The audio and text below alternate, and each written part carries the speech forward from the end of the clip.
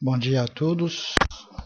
Hoje é sexta-feira, dia 1 de fevereiro de 2014. Eu vou comentar os trades realizados ontem, na sexta-feira, dia 31 de janeiro, no mini índice. Foi um dia para mim bastante desmotivador. Realmente, é, a gente pode ver que o mercado não se mexeu durante durante basicamente quatro horas e meia. Quatro horas e meia.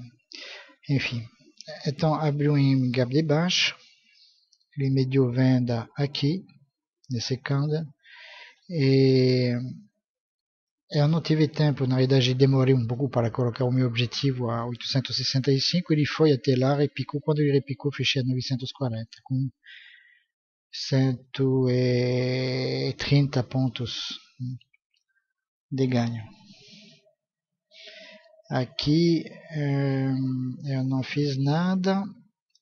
Aqui mediu venda. Nesse candle ele mediu venda. Só que não liberado pela balança do poder, mas eu vendi da mesma forma. E ele repicou e fechei com 10 pontos.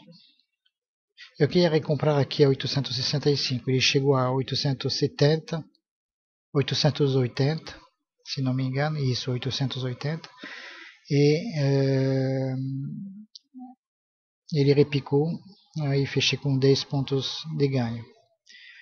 Aqui eu cometi um erro por indisciplina,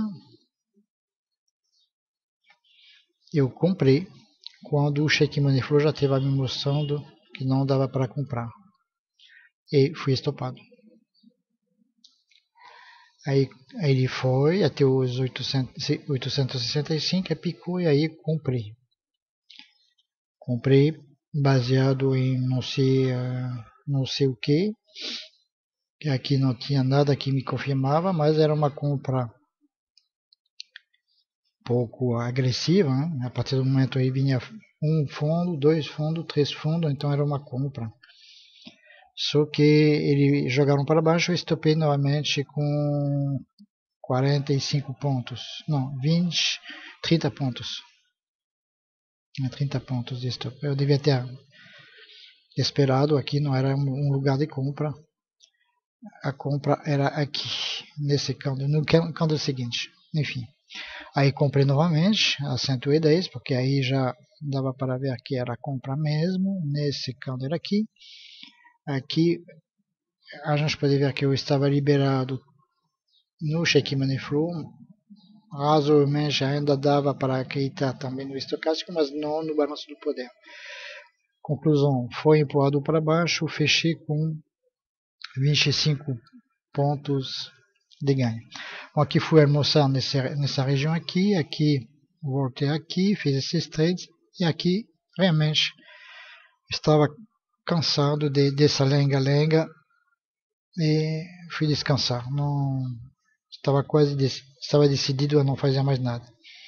Aí voltei aqui, aí que eu vi que já tinha subido 350 pontos. Né? Aqui o, objetivo dessa compra do 110 era 200, 320. Está atingido tranquilo. Então é, aqui realmente fiquei, quando voltei fiquei bem chateado. Aí eu fiz um monte de três aqui, três ou quatro três que nem marquei aqui, todos negativos, é, todos na venda. E, bom, enfim, foi realmente é, estava acreditando que chegando nesse, nessa resistência ele ia voltar a cair. Né? Empurraram para cima e foi para o próximo objetivo, né? que era os 865. Ele foi exatamente ali e aí parou. Então acabei o dia com 190 pontos negativos e menos uma perda de R$ 191,58 realmente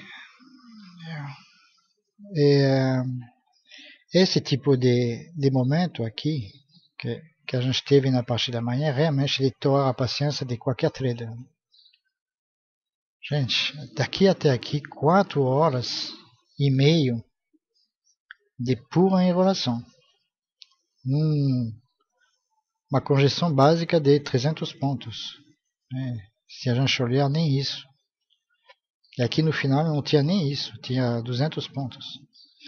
Realmente, para aguentar isso, tem que ter. É isso. Ou seja, é, é um momento de, de acumulação, é um momento de briga. Né? A gente vê que o volume não foi ruim nesse período, ou seja, é um momento de briga. A gente que estava vendendo e, e outros aproveitando para fechar posições vendidas né, em um sábado de uma semana de queda, uma semana de queda com um sábado, portanto, que ia ser em alta. Isso eu estava esperando, por isso que eu insisti em comprar a partir dali. Mas realmente é difícil aguentar esse tipo de, de congestão, inclusive porque poderia ter ficado assim até o final do dia. Já vi acontecer isso, né, ficar até 17h15, 17h30 e de repente fazer um imenso candle, dois ou três candles imensos antes de fechar o dia. Então, foi isso, né? uma pena. É, eu espero que vocês se saíram melhor do que eu. Então, um bom fim de semana e até segunda-feira.